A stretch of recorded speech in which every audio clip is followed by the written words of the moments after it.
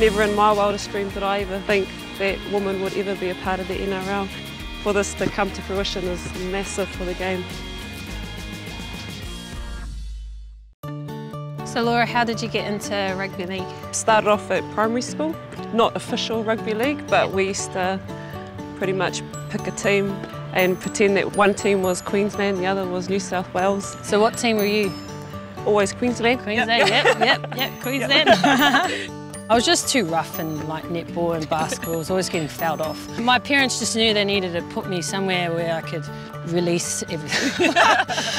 Played my first game, with the boys, and they were awesome. But then the college uh, contacted our school, the opposing team, and said, oh, look, she can't play because she's a girl. Now I see that so many girls who are in under sixes can can continue to play, yeah. whereas we didn't have that you know, for any of the codes. So that's awesome with what's happening for women in league now. Yeah, me. Never in my wildest dreams did I ever think that women would ever be a part of the NRL. I've been playing for 18 years now, so for this to come to fruition is massive for the game. It's pretty tough being parents and, and playing the game we love. Yeah, especially women. Yeah, you know, yeah. we're both still working while we're, we're playing, so. Yeah, it yeah. takes a lot of commitment. You can just imagine all these young girls watching us on the big screen and then hopefully they're just going to want to be there.